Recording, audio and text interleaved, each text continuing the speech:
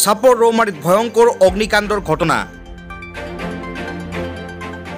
আজি দীপৰ বেলা চাপৰে ৰৌমাৰীত মোবাইল ফোনেৰ টাৱাৰত এই অগ্নিকাণ্ড।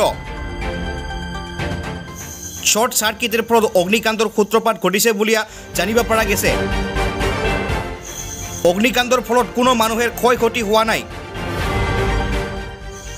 ভাগ্যক্ৰমে ৰক্ষা পৰিল ভালেকৈটা ঘৰ লগতে এখন ব্যক্তিগত বিদ্যালয়।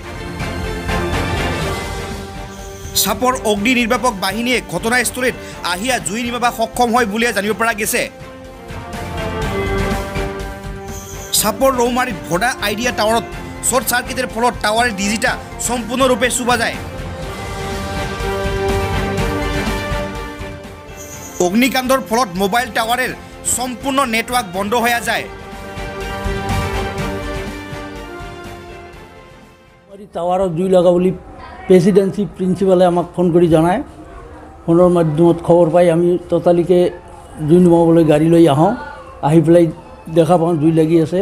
তাৰপিছত আমি আমাৰ কৰ্মীবৃন্দ আৰু মই সকলোৱে লাগি জুইটো নিয়ন্ত্ৰণ কৰিলোঁ। মোটামুটি এক ডেৰ লাখ টকা লছ হৈছে আৰু। মেচিনটো ডেমেজ হৈ গৈছে। D G D G D G কয় নেকি? এইটো ডি জি বুলি কয়। তাতে জুই লাগিছিল।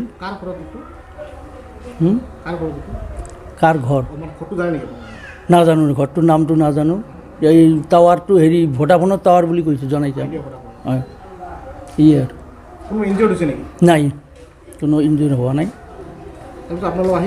আমি জুই নুমালোঁ